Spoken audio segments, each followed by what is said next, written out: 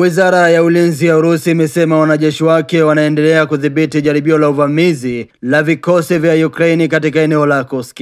Inasema jaribio la vikundi vya maadui wanaotembea kupenya kwenye magari ya kivita ndani kabisa eneo la Urusi yamezimwa. Wizara hiyo inataja maeneo matatu katika eneo la Kursk kuanzia kati ya kilomita 25 maili 15 na kilomita 30 maili 19 kutoka mpaka na Ukraine, ambapo inasema vikosi vya Ukraine vilipigwa. Inaongeza kuwa Ukraine ilipoteza wanajeshi 230 na magari 38 ya kivita katika saa 24 zilizopita. Awali, rais wa Ukraine Volodymyr Zelensky alikiri kwa mara ya kwanza kwamba jeshi lake linaendelea na mashambulizi ya kuvuka mpaka ndani ya eneo la Kursk magharibi mwa Urusi. Katika hotuba yake ya video siku ya Jumamosi, Zelensky alisema jeshi la Ukraini lilikuwa likipambana kwenye eneo la wavamizi. Hata hivyo, mji mkuu wa Kiev na mikoa mingine kadhaa ilikumbwa na shambulio la ndege isiyo na rubani ya Urusi mapema siku hii ya leo.